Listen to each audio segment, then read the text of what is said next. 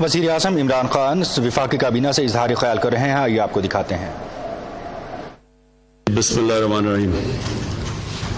आज मैं फ़ारूक आपके लिए, लॉ मिनिस्टर साहब आपके लिए बड़ा इंपॉर्टेंट है।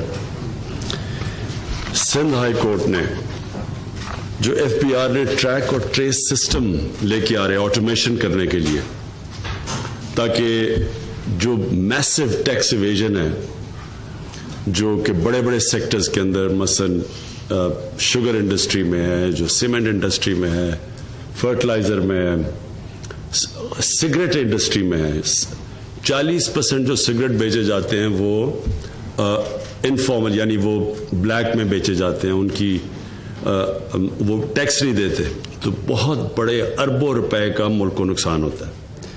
पिछले पंद्रह साल से एफबीआर कोशिश कर रही है कि ट्रैक एंड ट्रेस सिस्टम लेके आए ऑटोमेशन करे।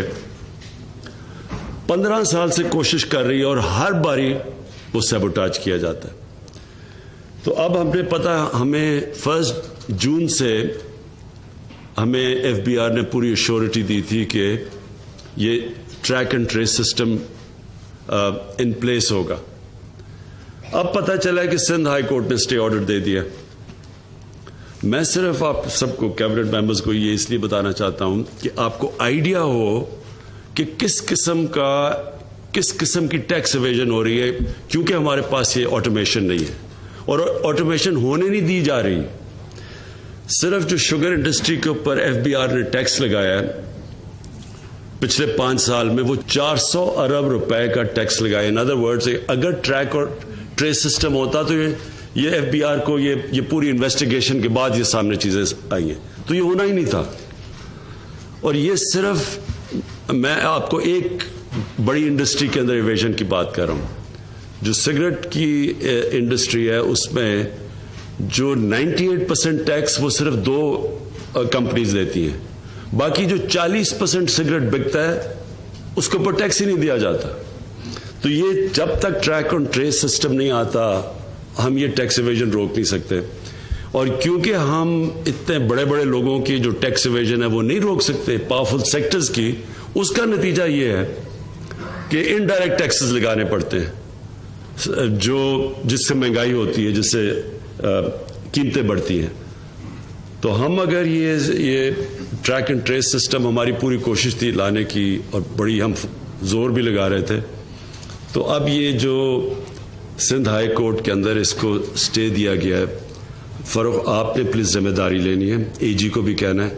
ये फौरी तौर पे छुड़वाएँ और उनको प्लीज़ उनको समझाएँ कि ये कोई किसी की जाति नहीं है, मुल्क को अरबों रुपए का नुकसान है और वो इवेंचुअली अवाम को पैसा देना पड़ता है महँगाई के ज़रिए।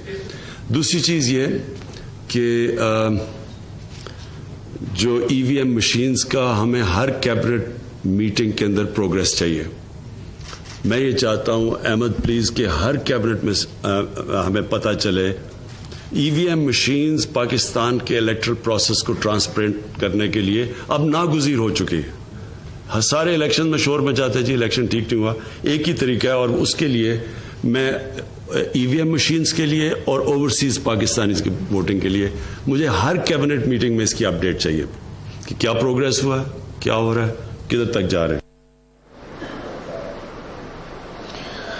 एफबीआर ऑटोमेशन के लिए ट्रैक एंड ट्रेस सिस्टम ला रही है। इसके बगैर टैक्स एविजन रोकी नहीं जा सकती। इस पर सिंध हाई कोर्ट ने स्टे ऑर्डर जारी किया है, जिसको रिलीज़ करने के लिए इकदाम किए जाएँगे। ओवरसीज पाकिस्तानी और ईवीएम मशीन के हवाले से काबीना के हर इजलास में अपडेट किया जाए। वज़ीर अजम इमरान खान विफाकी काबीना के इजलास से इजहार ख्याल कर रहे थे, जो आपने मुलाजा किया। पी टी वी न्यूज़ से ये थी ताज़ा तरीन।